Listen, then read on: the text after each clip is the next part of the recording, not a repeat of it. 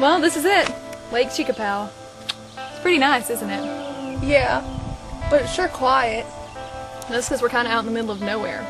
There's no one around for miles, so don't drown. Thanks. You coming or what?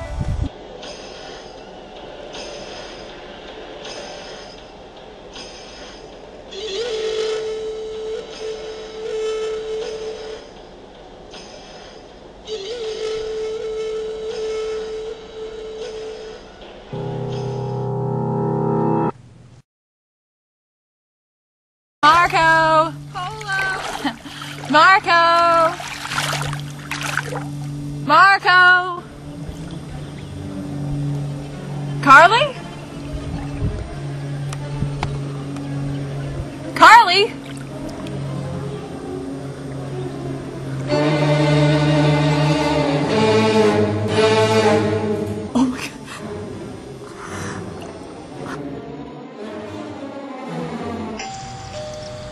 My name's Paige Lewis. I'm not from around here, but uh, I'm looking for my sister. She went missing.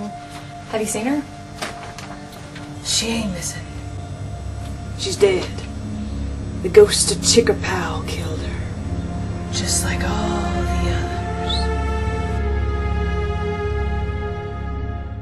Chickapow was a Creek Indian chief who fought as an ally alongside Andrew Jackson during the Creek War. Uh, he died in battle, and he was laid to rest in, well, what is today somebody's front yard. So you're saying someone built a house on his grave? That's what sparked all the local ghost stories. You don't build a house on a burial site. It just ain't right. And Chickapow, he's getting his revenge for it. But my sister didn't do anything to Chickapow. That don't matter to an anger spirit.